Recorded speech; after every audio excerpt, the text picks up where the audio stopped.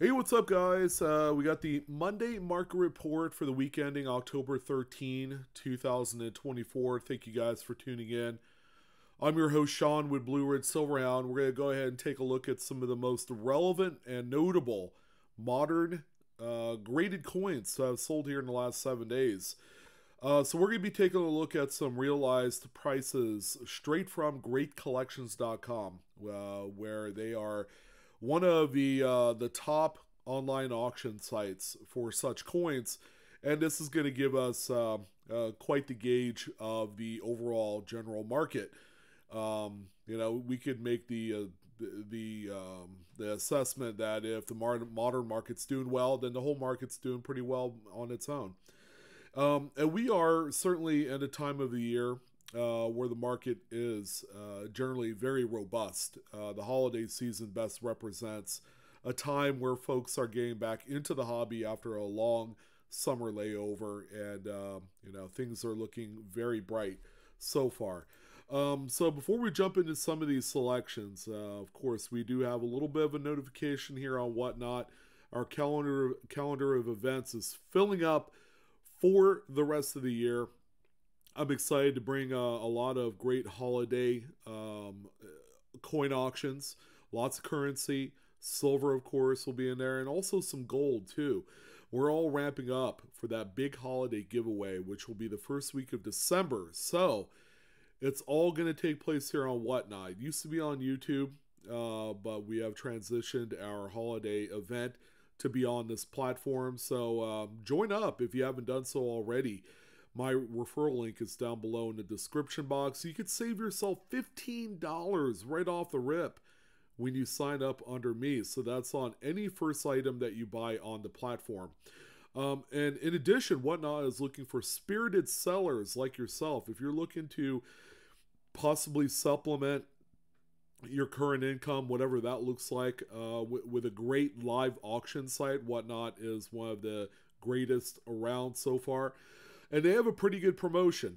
You sign up today, and I have my referral link down below, so you could use that as well. They will match up to your first $150 in sales through your first seven days. This is a limited one time offering. Um, I would suspect that it's not going to last too much longer. Um, this is something that they said that will be limited. So, what does that look like? I don't know. Personally, I wouldn't wait. Go ahead and sign up today. And um, you know, if you're motivated to um, you know sell on this platform or any platform similar to it, then uh, you know the uh, promotion is wonderful. All right, let's go ahead and jump into some of these selections. So we have a great uh, great list of registry set coins, but this week we have quite a few very nice uh, collector and investable grade pieces as well. So here's a 1952D Lincoln Wheat Cent to kick things off here. This is a really nice grade. However, it's worth noting that this is not the finest grade that you could uh, realize from a 52D. Denver minted coins of the 50s are generally very well struck. So there are uh, a number of, exa- of examples that have hit 68. Um, consider this one to be um, that safety net coin in the event that you do not reach a 68 if you did grade one of these a 67 plus is a good consolation prize. This one right here is also cac certified as well. It's got that green bean sticker right on the label there. And this one sold for $1631.25 uh, we have a much more tougher uh, 1951 Philadelphia here. Um, generally, the P minted, the Philadelphia minted 50s coins going all the way up to about 1956. These are all quite tough to realize the top grade, and registry set owners are having a heck of a time trying to find one of these at that highest state of preservation. Um, so we have this one that popped up on the market here this week in a 67 red. This is one of the more tougher ones of the 50s. Um, and this one, uh, very, very nice sale at $2,306 and 25 cents. And uh, last week we highlighted a Mint State 68 Plus CAC stickered steel set. This week we have just a Mint State 68.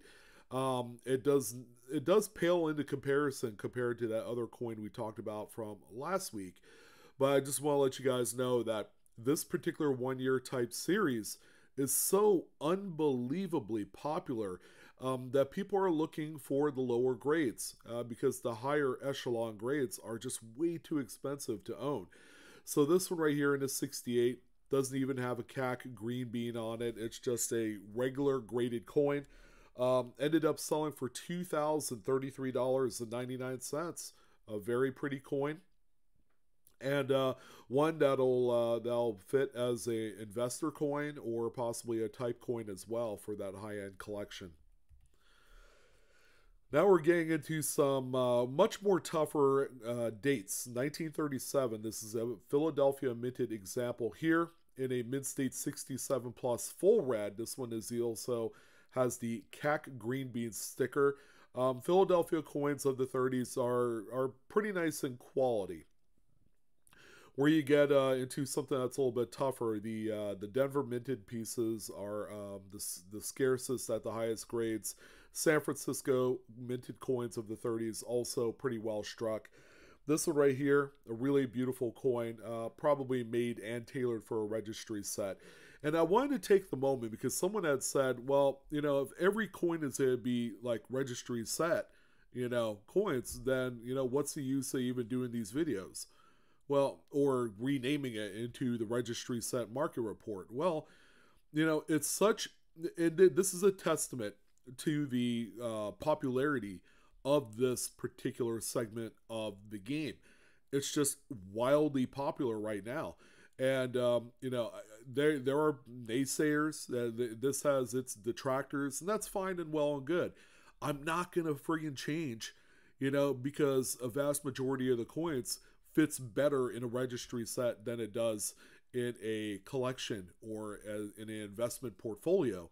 I just won't do that we have to talk about the entire market. If registry sets are dominating the scene right now, then that's going to dominate the MMRs. I'm sorry that you guys have to hear this from me, but um, there's been a few people that have been entirely way too negative on this um, particular subject when, you know, it's just the sign of the times, you know, and it could best represent an area of opportunity for those folks that might have coins like this.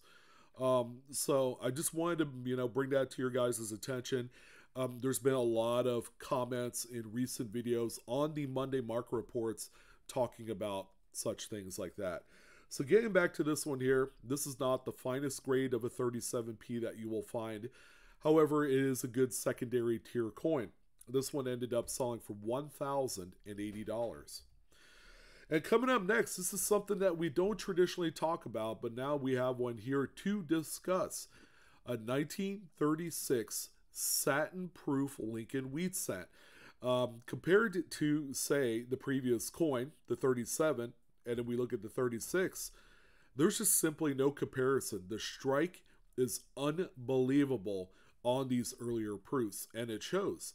Um, everything is just cut and chiseled to the finest quality that you can expect for proof coins of that time.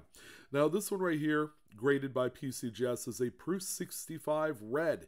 It is one of the more rarer um, earlier proofs uh, before you get into the ones from the teens in 1909. Those are kind of like what I consider to be the top of the pyramid or top of the scale for early Lincoln cent proofs. Um, so we have this one here, a nice, very satiny example of this that ended up selling for $5,400. Okay, it's a very expensive coin across many grade levels. 65 is hardly the finest grade of this particular date and of this proof. 1935S, this is actually a very nice looking coin right here that ended up in a 67 red holder by PCGS. Um, it's a good looking example, uh, but far and away, it's not the finest graded piece that I have seen. Um, I have covered Lincoln cents, you know, over the course of the last 10 years on the secondary auction scene. And, you know, this one right here is, again, one of those fantastic secondary tier coins. This one sold for $4,782.38. And we also have a 35 Philly as well. This one is unbelievable. The quality is unmatched. Of course, it comes along with a very, very large grade in a 68 red, uh, which is fantastic. But again, Philadelphia and San Francisco coins of this decade were very good quality. Um, so, you know, there's going to be a lot more that would qualify for grades like 66, 67, and 8s. This particular one here ended up hammering for $5,456.25. And uh, we're going to end off the Lincoln Cents on two very tough dates. Now, the 29D is tough because it's a Denver.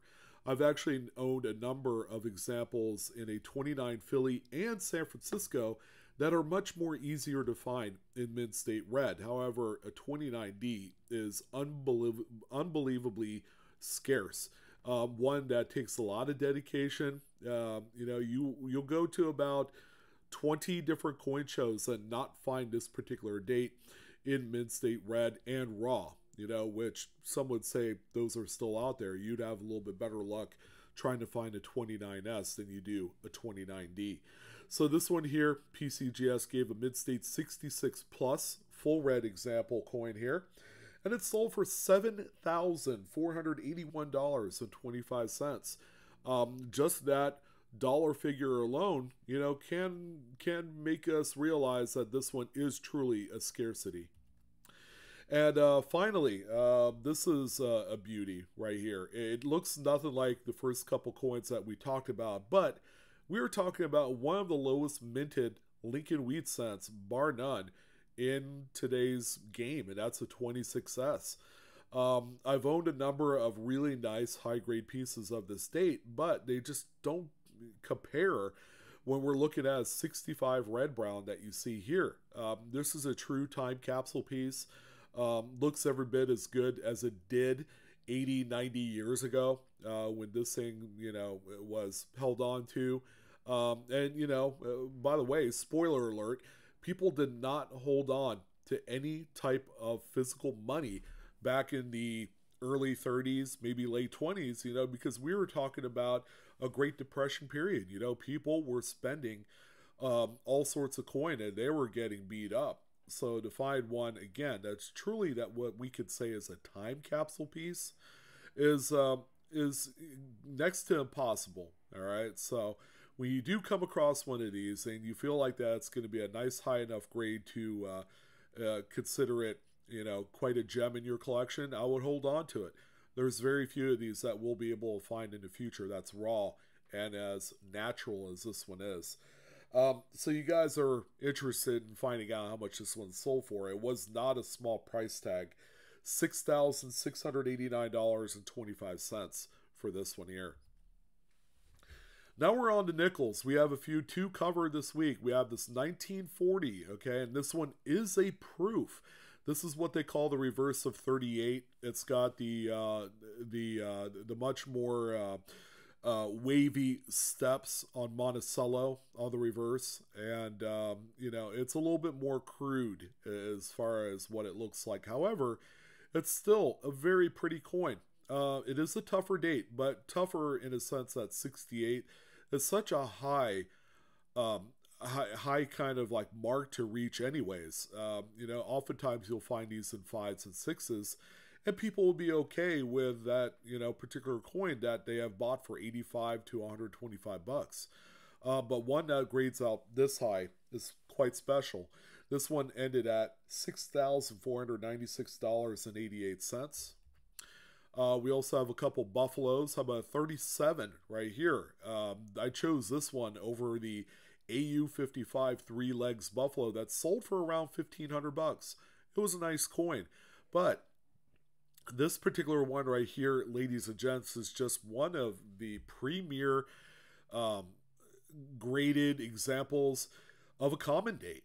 Um, and this represents a better opportunity for a lot of folks out there that you know attend the shows. You do know that there are lots of uh, raw, ungraded 36 and 37 dated Buffalo nickels out there for around 20, 30 bucks. That if you pick the right one, you might just hit that lightning in a bottle, and that's this one here in a 68. This one sold for a whopping $4,742.49. And guess what? It's not even the finest grade.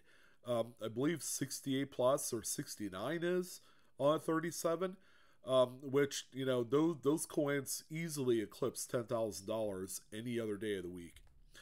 Uh, we also have a 35, uh, much tougher than it looks. Um, anything that is earlier than a 36, we have to assume that you're going to put more work into finding those pieces. This one here is 68, much like the previous coin, but this one has a much higher ceiling because of its grade state, and the mintage is quite a bit lower as well. And because of that, this one sold for twelve thousand nine hundred thirty-seven dollars and fifty cents. I just love the little hints of color on this one. 1920D, we have to end the nickel portion of this video off with quite a scarce one here. Uh, 1920D, I mean, what else can we say? I, I've barely found any of these higher than XF. Um, and even XF examples will set you back about $100, which is uh, a true testament to the staying power of such tougher dates of the series. So this one here, happy to see that NG, NGC graded this one in as 65. It is a true beauty. This one sold for $3,375. Uh, we have a couple dimes. 54S is not a scarce date. These are out there um, and available in raw condition. And you can even find some that are quite toned nicely. This one right here, toned, you know, which plays into the uh, the overall final sale price, you know, gives it all the originality it needs. Okay, this, this is again a very beautiful piece that's never been dipped, never been doctored. This one, such a huge grade and is 68 full bands. Uh, it's got a very nice uh, strike on the reverse, and this one sold for two thousand nine hundred thirty-nine dollars and sixty-two cents. Roosevelt dimes, yeah, I think they're uh, they're coming coming back with a passion here this week, uh, because we also have a 52 proof in deep cameo.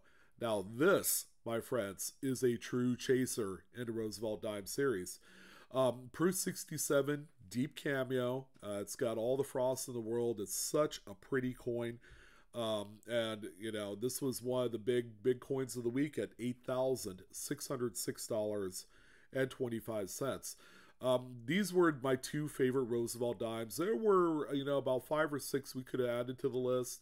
There were a few examples that sold in the thousand to fifteen hundred dollar range, but you know, uh, might as well just put my best foot forward and show you these two this week.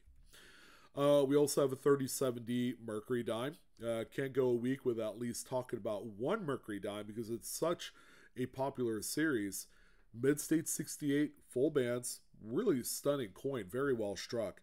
$1,743.75 for this example and a 29D. Uh, quite a tough date. Again, we're uh, if we're playing the parallels of any other denomination of this era, we have to understand that not a lot of these were saved up in this condition. However, how did a 29D squeak out a 67 plus full band grades with CAC on there?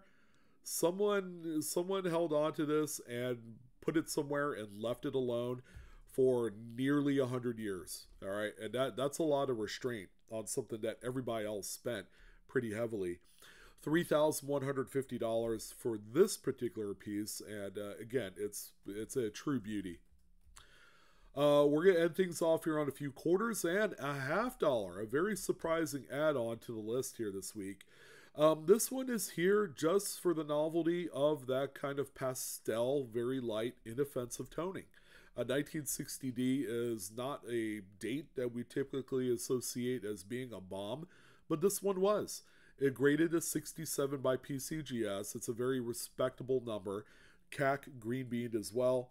And this one sold for $2,405.25. A 42. Uh, we've covered a number of 42 Phillies. This is yet again another really pretty, very original and wholesome business strike coin. It is 67 plus, very clean. There's not a whole lot here distracting this one. CAC green bean as well. There's a lot of CAC representation this week. Uh, Three thousand four hundred seventy-five dollars and twelve pennies and a 38, another Philadelphia time capsule. This one has that tint of color all throughout. I mean, this is a, a beauty. One of my favorites, I would say, bar none this week. Uh, this one, the 67 plus with the toning, and I'm happy to report that this one sold for $4,272.75. And the final coin, and this is where we have to lend a little bit more respect to the 40% silver composition. It is that very composition that allowed for a lot of very robust toning on a lot of examples all throughout this very short series. Um, this one is no exception. Uh, this time, CAC G graded this one in a 67 plus. This thing is absolutely amazing. Um, the coloring is, uh, you know, it's something that you would see in outer space. It's that cool. Uh, it's it's great, nebulous. You've heard me say that before. It's got just a wonderful spectrum of all the different colors that you can imagine that make up quite the palette um, that lends to just a visual masterpiece of all things. Um, so this one right here, a huge sale at $5,461.88. And I would say 95% of that is supported by the toning of this coin. So if you guys have 40 percenters that have been like holed up in some special arrangement or storage, um, you know, method, you know, I, I would I would say that you know you might have something on your hands because these things are just pursued, they're hot, they're highly sought after, but mostly for the artistic nature of them. All right, well, that's going to go ahead and do it for the Monday Market Report. Again, the information provided is for educational use only. None of this is financial advice. Please collect and or grade your coins responsibly. And that's going to go ahead and wrap things up. I'm your host, Sean with Blue Ridge Silverhound. Thank you again for such another great week of Monday market activity. The modern market is doing very well, you know, and uh, I would suspect that we are going to continue to see that here in the foreseeable future. I want you guys to have a great rest of your day. Thank you again for tuning in and enjoy this hobby. I'll see you next time.